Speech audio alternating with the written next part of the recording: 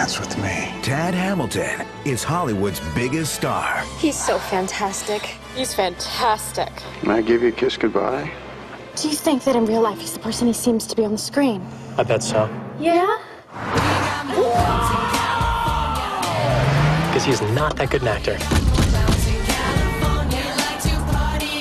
Congratulations. You're actually drinking, driving, smoking, leering, and groping at the same time. Oh my god. What is that? Win a date with Tad Hamilton. What? Should I enter? Sure, heaven is just a mouse click away.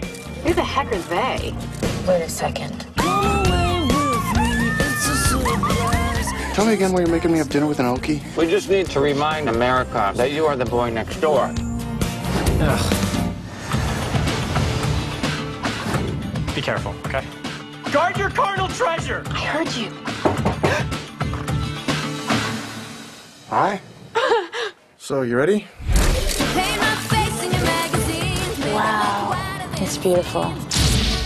I had one of those. A retainer? I had really bad teeth as a kid. Well, you came together nicely. Thank you. So did you.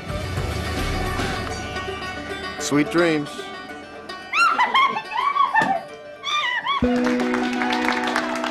Rosie, I kind of had something that I wanted to ask you.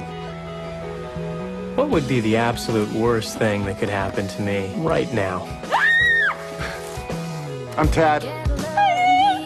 I can't believe you're here. I want some of that goodness to rub off on me. He wants your goodness to rub off on him. He wants your butt to rub off on him. Rosie, I love you. Tad Hamilton is an actor. How do you know that he's not acting with you?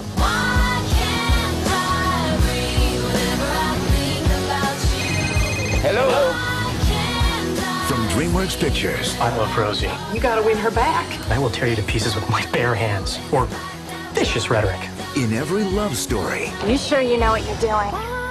No.